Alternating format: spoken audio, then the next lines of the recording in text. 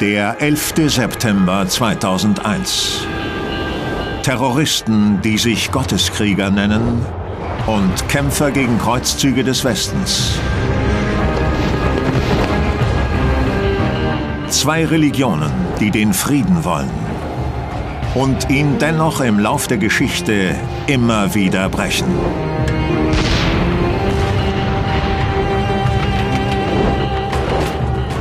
Epochen des Gegeneinanders und des Miteinanders.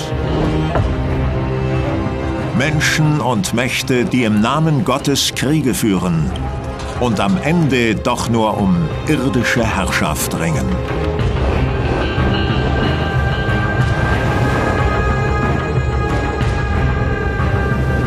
Im 11. Jahrhundert entbrennt ein Kampf um die Herrschaft im Heiligen Land. Weil dort Christen bedroht sind, ruft der römische Papst zu einem Kreuzzug im Namen Gottes auf. Ziel ist die Eroberung von Jerusalem. Doch streiten die Ritter der Christenheit nur für den Glauben? Der zum Heiligen Krieg erklärte Kampf gegen die Muslime dauert zwei Jahrhunderte.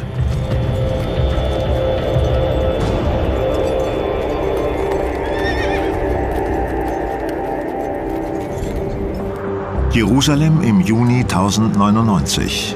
Ankunft vor den Mauern der Stadt. Zum ersten Mal erblicken die bewaffneten Pilger, wie sie sich nennen, das ersehnte Ziel.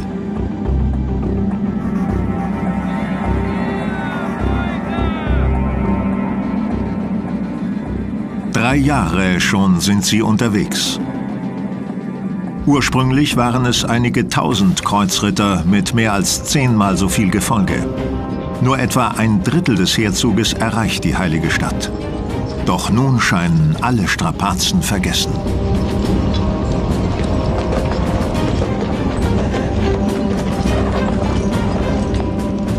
Der Papst verhieß allen Kreuzfahrern den Erlass von Sündenstrafen, wenn sie ihren christlichen Brüdern in Palästina zu Hilfe kommen und die heiligen Stätten von der muslimischen Herrschaft befreien. Heerführer wie Raimund von Toulouse und Gottfried von Bouillon haben vor allem ein Ziel vor Augen. Der äh, Wille, dieses Land das Heilige Land und gerade die Stadt Jerusalem und dort insbesondere das Grab Christi wieder unter christliche Herrschaft zu bringen. Nach zeitgenössischer Vorstellung handelte es sich um das Land des Herrn und seine Erbschaft. Jerusalem. Jahrhundertelang hatten hier christliche Byzantiner geherrscht. 638 wurde die Stadt von den Nachfolgern Mohammeds erobert. Die Herrschaft der Muslime war Juden und Christen gegenüber eigentlich tolerant. Aber im 11. Jahrhundert kam es immer wieder zu Übergriffen. Dem wollen die Kreuzfahrer nun ein Ende setzen. 250 Kilometer nördlich in Damaskus treffen Nachrichten von der Belagerung ein. Ich suche Scheich al-Sulami. Wer ist da drin? Ein muslimischer Rechtsgelehrter will über jeden Schritt der Christen informiert werden. Ehrwürdiger Herr, was willst du? Die Ungläubigen greifen Jerusalem an. Und haben sie vorher ein Gebet gesprochen? Ja, Herr, und sie tragen Kreuze mit sich. Und vor der Schlacht zogen sie betend und singend um die Stadt und riefen ihren Gott um Hilfe an. Es sind sehr viele, Herr. Der Gelehrte Al-Sulami ist überzeugt, dass es sich bei dem Angriff der Christen aus Europa um keinen gewöhnlichen Eroberungszug handelt. Das heißt, sie sind nicht nur hier, um zu rauben. Sie führen einen Krieg im Namen ihres Glaubens.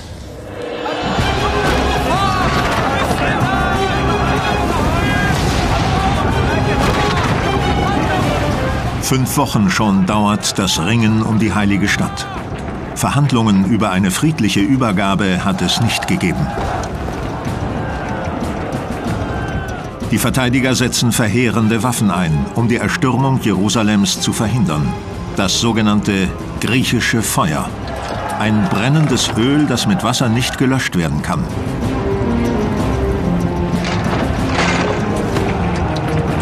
Der Kreuzfahrerfürst Gottfried von Bouillon weiß, dass seine Ritter am Ende ihrer Kräfte sind.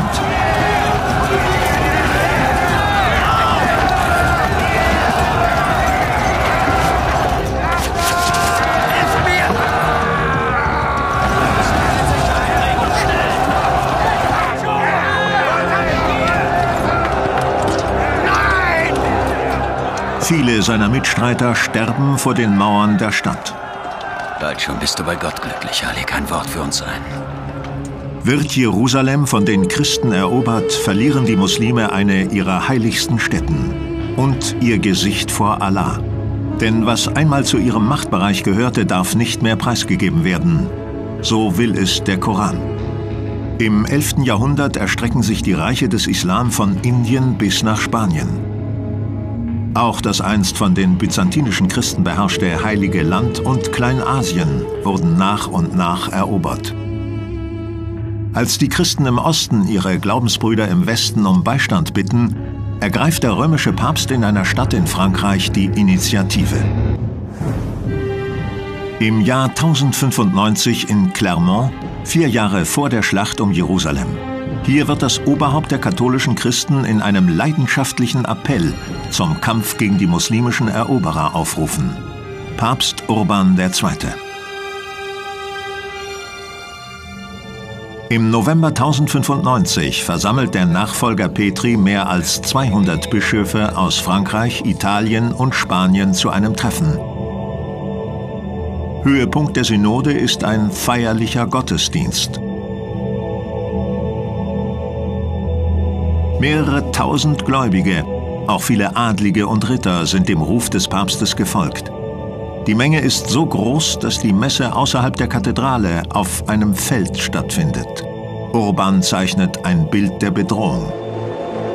Meine Brüder und Schwestern in Christo, die Ungläubigen haben den Christen immer mehr Länder geraubt.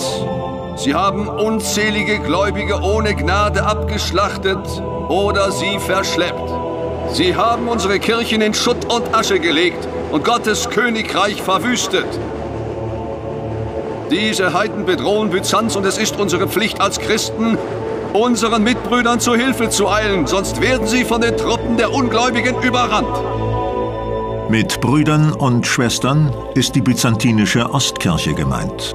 Eigentlich ist die Christenheit in dieser Zeit tief gespalten in katholische und orthodoxe Gläubige, deren Zentrum Konstantinopel ist. Doch seit türkische Seldschuken die Byzantiner aus Kleinasien verdrängten, sieht sich die gesamte Christenheit herausgefordert. Die muslimischen Reiternomaden sind die neue Großmacht in der islamischen Welt. Bei ihrem Vormarsch kam es häufig zu Übergriffen auf Christen und ihre Pilgerwege ins heilige Land. Die Seldschuken bedrohen auch die Hauptstadt des Byzantinischen Reiches, Konstantinopel, die Metropole am Bosporus, einst das Machtzentrum der christlichen Welt. Deshalb bat der byzantinische Kaiser Alexios den Papst schon mehrmals um Hilfe im Kampf gegen die Seldschuken. Im Sommer 1095 hat er ein Schreiben an Urban II. verfasst, das Gehör findet. Und so wird auch die kleinste Form von militärischer Unterstützung gegen diese gottlosen Heiden von großem Nutzen sein für unser Reich und für die ganze Christenheit. In Clermont stellt der Papst den Hilferuf aus Byzanz in den Mittelpunkt seiner Predigt. Unsere Brüder und Schwestern im Osten wurden durch das Schwert, durch Raub und Brandschatzung zu Sklaven erniedrigt. Grausam sind die gottlosen Männer. Frauen haben sie fürchterlich geschändet. Die feindlichen Heiden stehen bereits vor den Toren Konstantinopels. Wenn ihr sie nicht aufhaltet, werden sie auch uns unterwerfen. Diese Predigt wurde offenbar sehr wirkungsvoll vom Papst inszeniert, mit großen Gebärden und Gesten, sehr gut aufgebaut. Nicht ich ermahne euch, Gott der Herr selbst ermahnt euch. Jeder Mann, ganz gleich welchen Standes, ob Ritter oder Fußvolk, seid Herolde Christi und vertreibt diese nichtswürdigen Ungläubigen.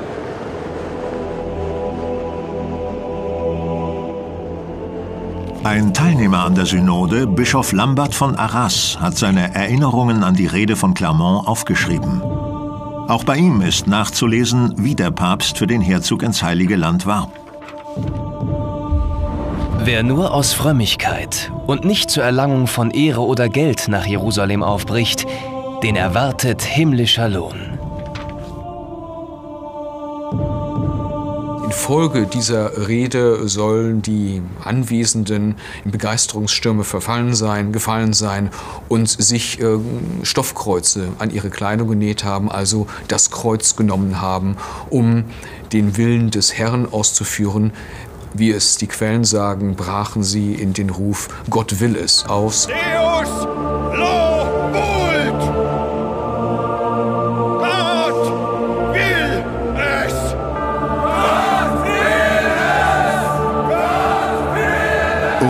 erklärt die Befreiung des Heiligen Landes zum reinigenden Bußgang. Er will die zerstrittene Christenheit einen und ihr ein Ziel geben. Geistliche Macht soll über der weltlichen stehen. Wahrer und Beschützer der gesamten Christenheit will er sein. Der Stellvertreter Christi auf Erden. Sein Plan ging durchaus auf, vielleicht mehr als er erwartet hatte. Die Resonanz war ja massiv. Ähm, nicht zuletzt deswegen, weil die Teilnehmer des ähm, Konzils in ihre Heimatländer zurückkehrten und dafür sorgten, dass Kunde von dem Aufruf ähm, jeweils vor Ort verbreitet wurde. Gott der Herr will, dass ihr euch auf den Weg ins Heilige Land macht. Das Land, das von alters her den Söhnen Israels gehört. Nicht nur Bischöfe und Priester rufen es von den Kanzeln. Auch wandernde Prediger bringen die Botschaft des Papstes und das Volk. Von Ungläubigen! Unzweifelhaft traf ähm, Urban der, der Zweite einen Nerv seiner Zeit. Anders kann man sich diese Massenbewegung, die auch die Zeitgenossen überraschte, nicht erklären. Zigtausende, Berufene und Unberufene, machen sich auf den Weg. Folgt dem Ruf des Himmels und dem Heiligen Vater. Fanatisierte Mönche werben eigenmächtig für den Kreuzzug im Namen Jesu. Scharenweise laufen ihnen die Menschen zu, einfache Leute, Bauern, Handwerker, aber auch niederer Adel. Es sind nicht die von Byzanz erbetenen Ritter, die sich hier versammeln, nicht die Krieger Gottes, die Urban meint. Das Heer, das sich hier bildet, entsteht planlos. Am Ende sind es etwa 15.000 Menschen. Der sogenannte Kreuzzug der Armen war letztlich die Reaktion auf die Werbung für den Kreuzzug, die Wanderprediger und andere Kleriker und auch andere Medien in Nordfrankreich, in den niederen Landen ähm, auch im Rheinland, äh, ins Rheinland hineintrugen. Dieser improvisierte Zug will den vom Papst genannten Aufbruchstermin nicht abwarten. Auch einige Adlige wollen sofort losziehen. Die Sorge aber um das eigene Seelenheil ist eine Sorge, die Reich und Arm gleichermaßen teilten und die gerade im 11. Jahrhundert ähm, offensichtlich zunahm. Also die Vorstellung persönlicher Sündhaftigkeit, die es durch Buße wieder gut zu machen galt. Es ist eine Zeit der Angst vor dem nahenden Ende der Welt und dem jüngsten Gericht. Und eine Zeit der Hoffnung auf Erlösung.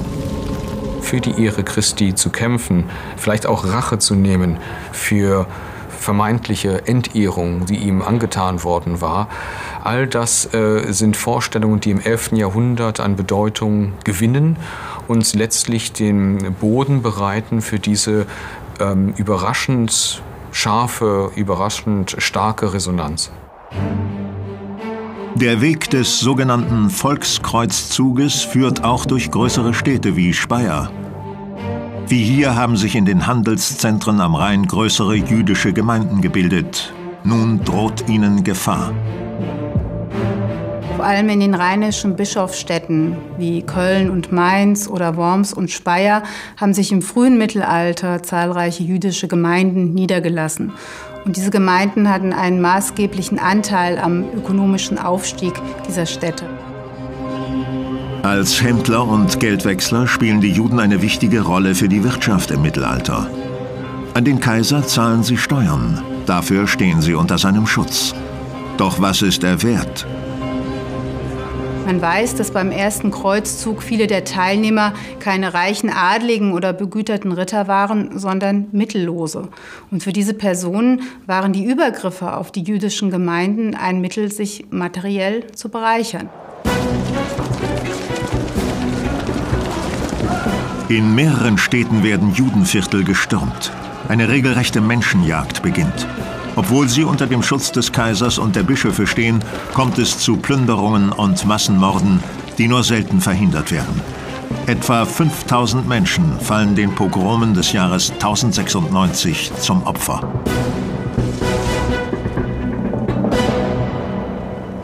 In dieser Zeit sah man die Juden als die Nachfahren der Christusmörder an und es war, so zynisch das klingen mag, bereits ein gottgefälliges Werk, schon in der Heimat gegen die Ungläubigen, gegen die Heiden vorzugehen. Doch ist der Volkskreuzzug auch ein selbstmörderisches Unterfangen. Die meisten sind schlecht bewaffnet und nicht für einen langen Marsch gerüstet.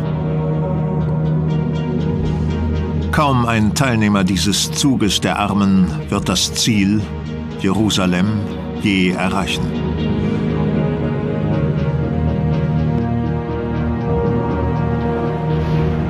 Umso wichtiger ist dem Klerus und dem hohen Adel, den Bischöfen und Fürsten, dass ihr Kreuzzug gründlich vorbereitet ist. Auch auf der Burg des Herzogs von Niederlothringen trifft man Vorkehrungen für die lange Reise ins Ungewisse. Das Aufnehmen der Kreuze für den Zug nach Palästina ist auch Symbol für einen Neuanfang.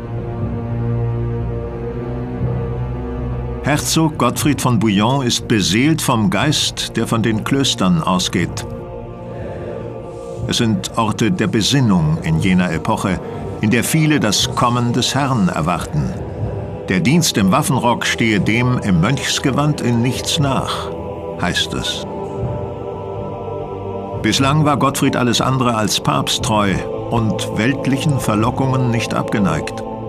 Doch auch ihn treiben Zweifel in jener geistlich aufgewühlten Zeit. Dem Aufruf von Clermont will er Folge leisten. Zwei seiner Brüder schließen sich Gottfried an, Eustach und Balduin. Bist du bereit, Gottfried?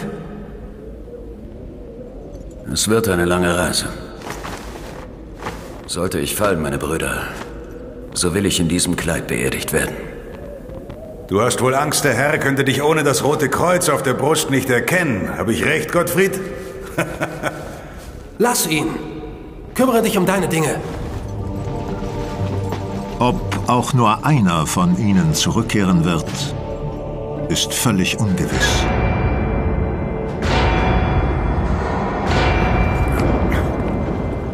Unsere Burg hier habe ich dem Bischof von Lüttich verpfändet. Du hast unsere Burg verkauft? Ich kann sie zurückkaufen, wenn wir heimkommen. Für 1300 Silbermünzen.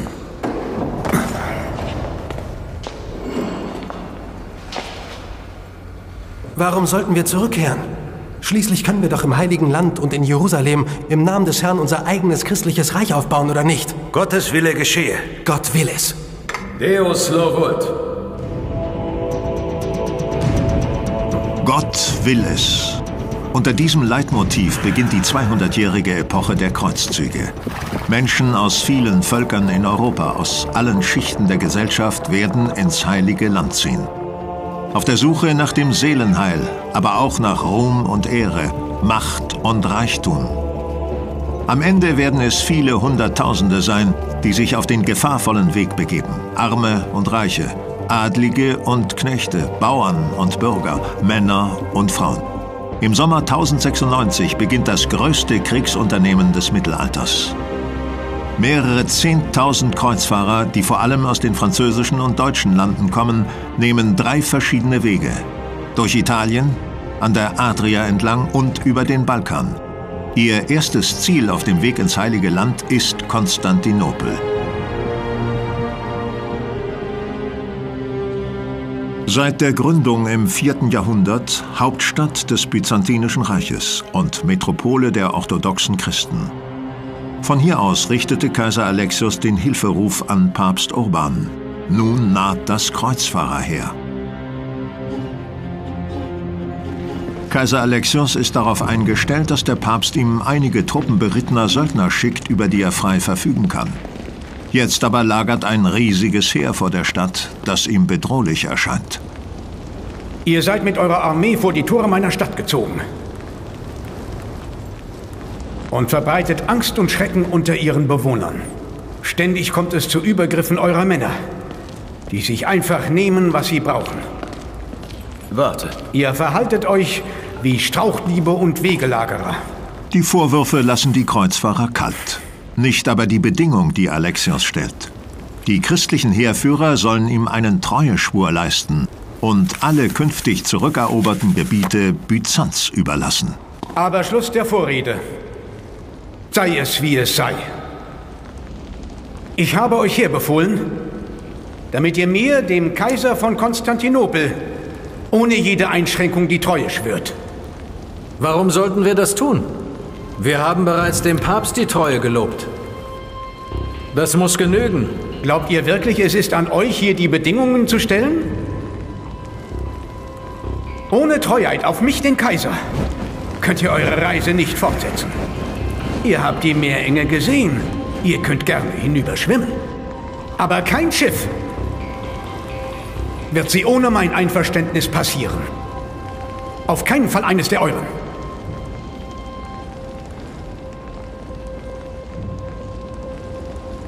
Ihr habt die Wahl.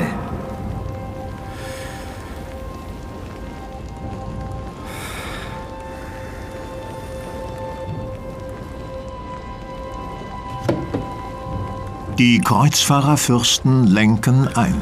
Vorerst. Nun, das Heilige Land ist unser Ziel. Wir tun, was er verlangt.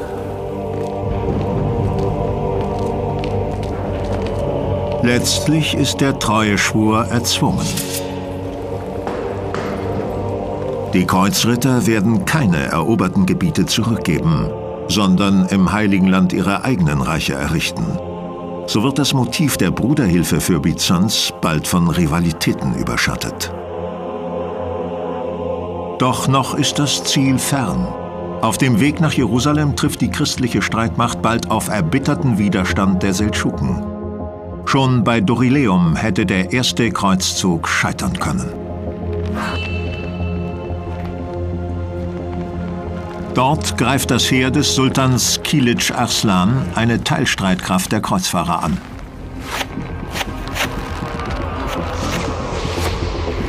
Seldschukische Bogenschützen bekämpfen die christlichen Krieger aus der Distanz. Der muslimische Herrscher verfügt über 50.000 Mann. Die Lage der Verteidiger ist verzweifelt. Tausende von Kreuzfahrern sterben in dem engen Tal. Doch konnten noch rechtzeitig Boten geschickt werden, um Hilfe zu holen. Die Rettung kommt in letzter Minute. Gottfried von Bouillon und seine Reiterei fallen den Angreifern in den Rücken und wenden das Blatt. Ein entscheidender Sieg auf dem Weg nach Jerusalem.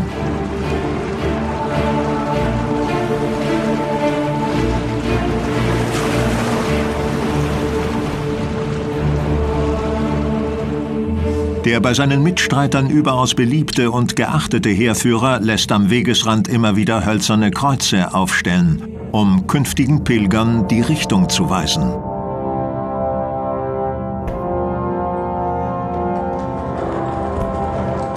Doch wie reagieren die Muslime auf den Vormarsch der Franken, wie sie alle lateinisch sprechenden Europäer nennen? Nur wenige erkennen, dass sich dieser Kriegszug der Christen von jenen unterscheidet, die allein auf Beute zielen. Der islamische Rechtsgelehrte Al-Sulami macht seinen Zuhörern in der großen Moschee von Damaskus deutlich, worin dieser Unterschied besteht.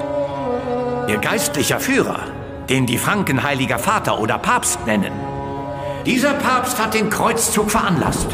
Es sei ein Feldzug im Zeichen des Glaubens, meint Al-Sulami. Sie wollen nach Jerusalem. Das ist das höchste Ziel ihrer Wünsche. Aber sie kommen nicht... Habt ihr das gehört, Brüder? Sie wollen nach Jerusalem. Die sie essen Schweinefleisch und trinken Wein. Und uns bezeichnen diese Christen als Ungläubige. Gott weiß es. Sie wollen uns vertreiben und unterjochen. Sie sehen uns als Feinde. Sie waschen sich nicht vor dem Gebet, sie sind Schweine. Zeichen mit sich, die sie im Kampf unterstützen sollen. Ihre Krieger erhalten keinen Sold, sondern einen Teil der Beute. Sie glauben sogar, sie kommen ins Paradies, aber die Hölle wird in uns sein!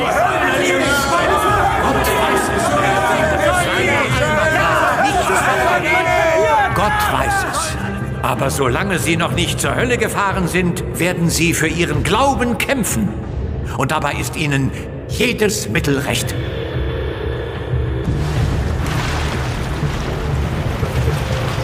Drei Jahre sind die Kreuzfahrer nun unterwegs. Weniger als ein Drittel ihrer Streitmacht ist noch am Leben. Mit der Aussicht, doch noch das ersehnte Ziel Jerusalem zu erreichen, kämpfen die Pilger in Waffen gegen ihre Erschöpfung an. Viele lockt die Vorstellung, mit dem Einzug in die heilige Stadt auch in den Himmel zu gelangen. Herr, erbarme dich. Christus, erbarme dich. Gott, Vater im Himmel, erbarme dich unser. Mit Messfeiern, Lobliedern und Psalmengesängen stimmen sich die Belagerer auf den bevorstehenden Angriff ein. Diese Prozession, die vor Jerusalem veranstaltet wurde, unmittelbar vor dem Sturm auf die Stadt, sagt viel über die Geisteshaltung und die Selbsteinschätzung der Krieger. Die Verteidiger Jerusalems, ägyptische Fatimiden, werden Zeugen der christlichen Rituale. Diese Heerschar will mehr als nur eine Stadt erobern. Sie sahen sich, und das belegen die Quellen, als neues Volk Israel. Sie stellten sich in die Tradition des Alten Testamentes. Gottfried von Bouillon weiß, dass Gebete allein die Mauern von Jerusalem nicht zum Einsturz bringen werden.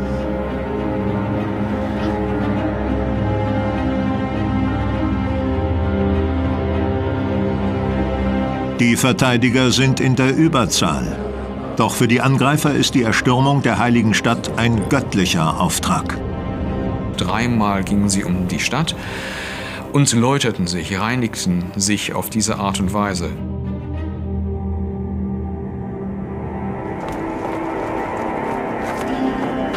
انصرنا يا الله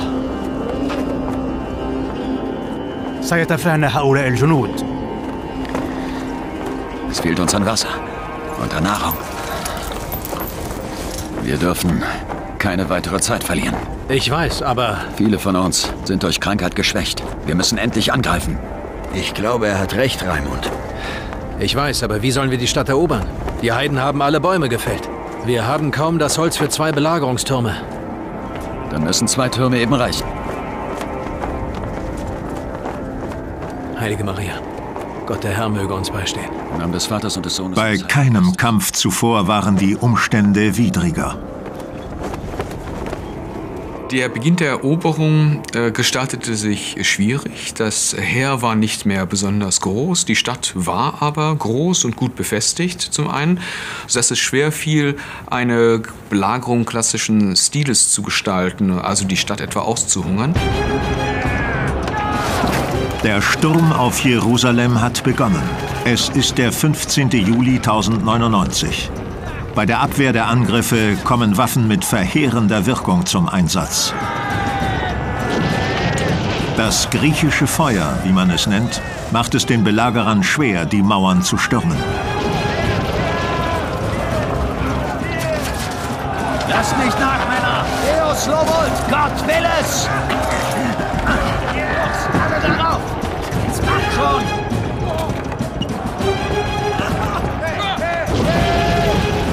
Weil die Angreifer in der Unterzahl sind, konzentrieren sie ihre Kräfte auf nur wenige Abschnitte. Der Herzog von Niederlothringen und seine Männer gelangen mit ihrem Belagerungsturm bis auf Sprungweite an die Stadtmauer.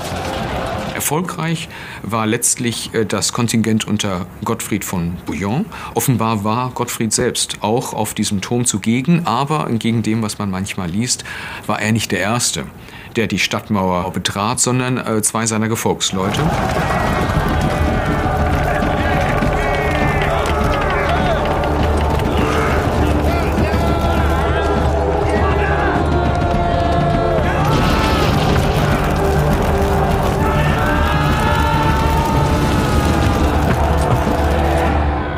Unter großen Verlusten stürmt der Herzog mit seinen Männern die Wehrgänge der Festung. Wenige Minuten entscheiden über Sieg und Niederlage der Kreuzritter. Und über das Schicksal einer Stadt, die Christen und Muslimen heilig ist. Beide Seiten vertrauen in diesem Kampf auf ihren Glauben und dass Gott ihnen beisteht. In beiden Religionen ist der Frieden heilig. Und doch ist für ihre Verfechter auch der Krieg ein Mittel, den eigenen, für sie wahren Glauben zu verteidigen. Gegen Feinde und Ungläubige.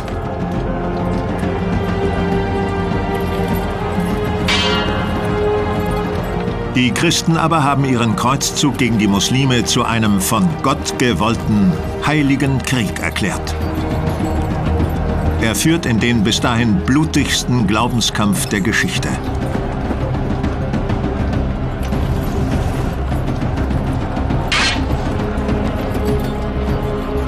und entlädt sich in der Schlacht um Jerusalem in einem Rausch der Gewalt.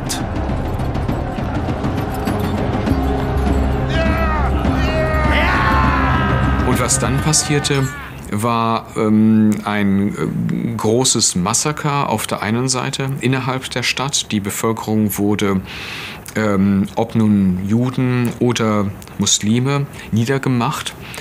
Und zugleich bemühten sich die Kreuzfahrerfürsten darum, besonders wichtige Orte einzunehmen. Man muss sich dieses Massaker in den engen Straßen Jerusalems ähm, durchaus äh, drastisch äh, vorstellen. Ähm, man hat offensichtlich auf Geschlecht und Alter keine, keine Rücksicht genommen.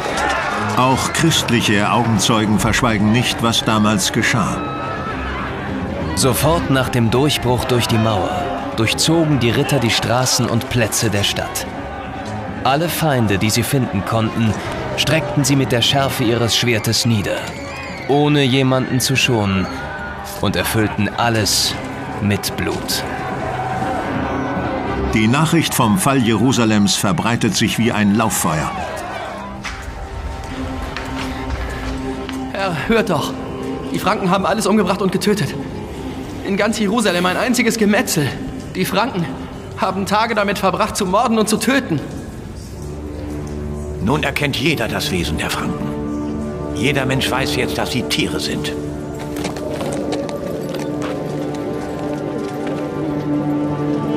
Etwa 30.000 Menschen werden getötet. Auch die meisten jüdischen Bewohner der Stadt. Selbst einheimische Christen, denen man vorwarf, mit den Muslimen paktiert zu haben.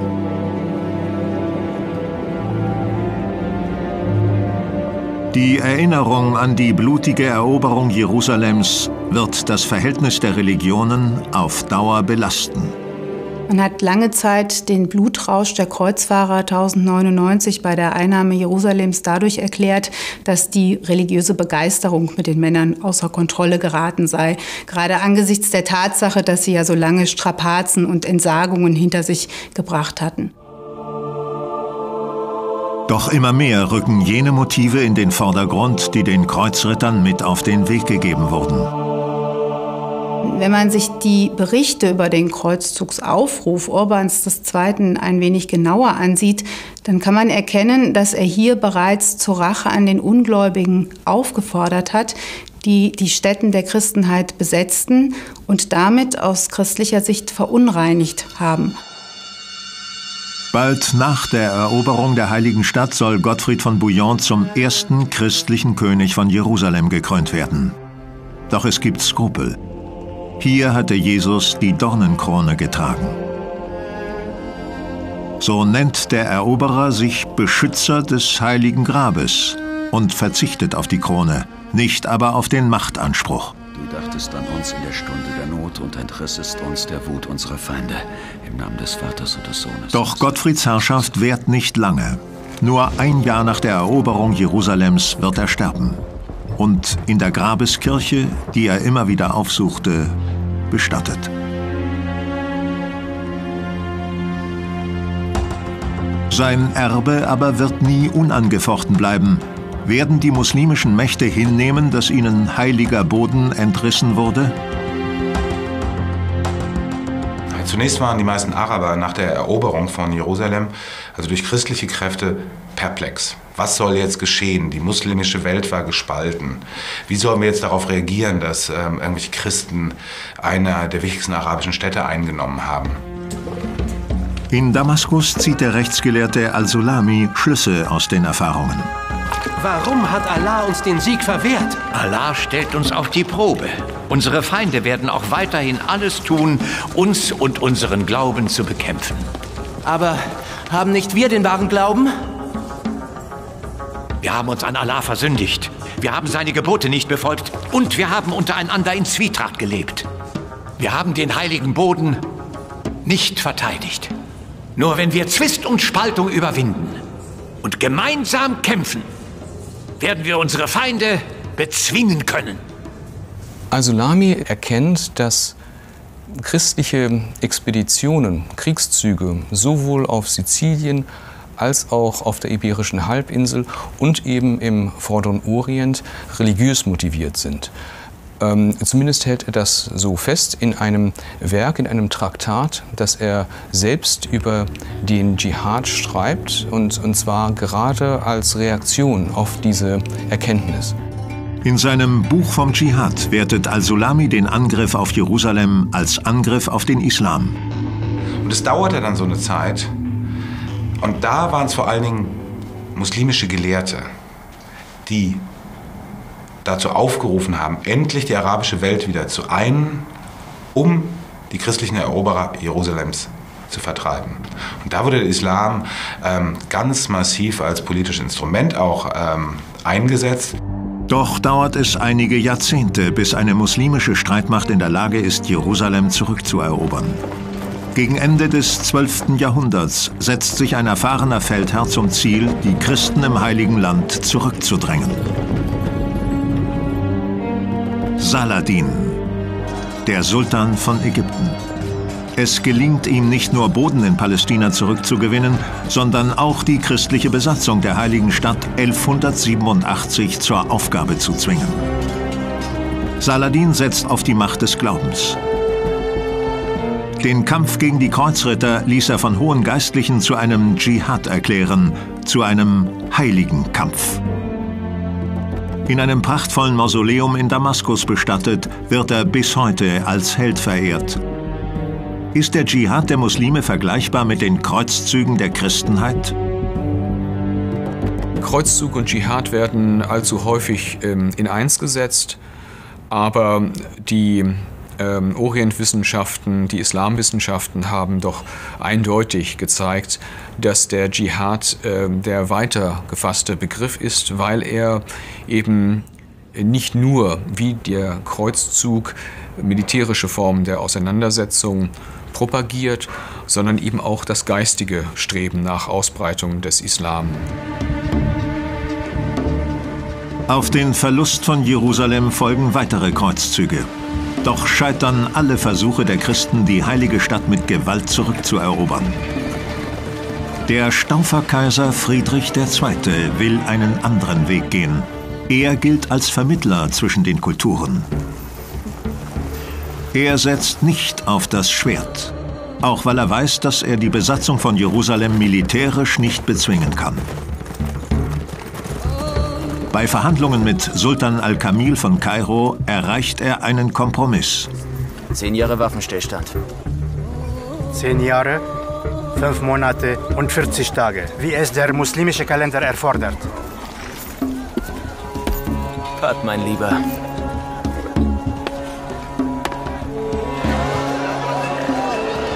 Es kommt zum Waffenstillstand zwischen Christen und Muslimen. Jerusalem, Bethlehem und Nazareth werden unter christliche Aufsicht gestellt. Der Staufer Friedrich II. erreicht sein Ziel ohne Blutvergießen. Seine Herkunft macht ihn zum Exoten unter den Königen Europas. Denn der Staufer wächst in Palermo auf, ein Schmelztiegel vieler Völker. In seinem Palast begegnen sich die byzantinische, italienische, arabische und die deutsche Welt, Muslime und Christen. der Austausch zwischen diesen äh, Vertretern unterschiedlicher religiöser Gemeinschaften muss sehr früh eingesetzt haben. Es lässt sich auf dem Feld der materiellen Kultur ganz besonders gut nachweisen.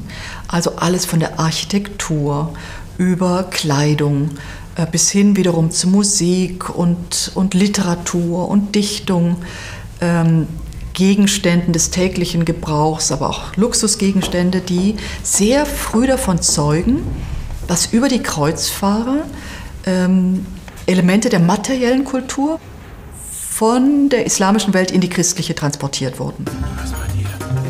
Die arabische Welt hat damals nicht nur auf technischem Gebiet einen bedeutenden Vorsprung. Etwa bei der Versorgung von Städten und kargem Land mit Wasser. Eine wesentliche Voraussetzung für Wohlstand und Wachstum.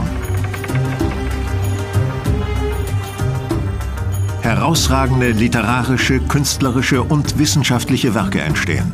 Auch in der Physik, der Mathematik, in der Medizin und Astronomie wird geforscht, experimentiert und geschrieben.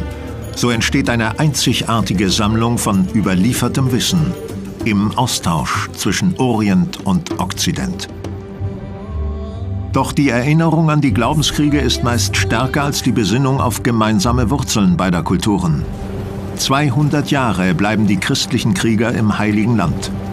Viele hunderttausend Menschen sterben in der Epoche der Kreuzzüge. Christen, Muslime und Juden.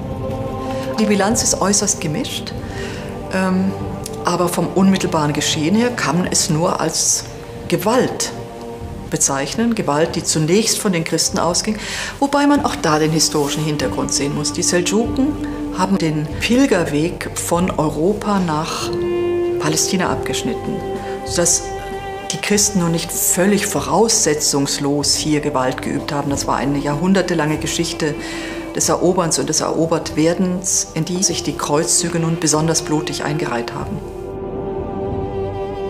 Noch heute künden mächtige Festungen von jenen Kämpfen, die zum Heiligen Krieg stilisiert wurden und das Verhältnis beider Religionen für viele Jahrhunderte prägten. Aber wirklich befeuert wurde diese Erinnerung an die Kreuzzüge durch den europäischen Kolonialismus. Und im Zuge des europäischen Kolonialismus, vor allem dann des 19. und des 20. Jahrhunderts, wurde diese Erinnerung an die Kreuzzüge neu gefüllt und ganz neu belebt und aktualisiert, sodass sie heute schon sehr lebendig ist. Nicht nur aus der Sicht mancher Muslime ist die Zeit der Kreuzzüge bis heute nicht zu Ende gegangen.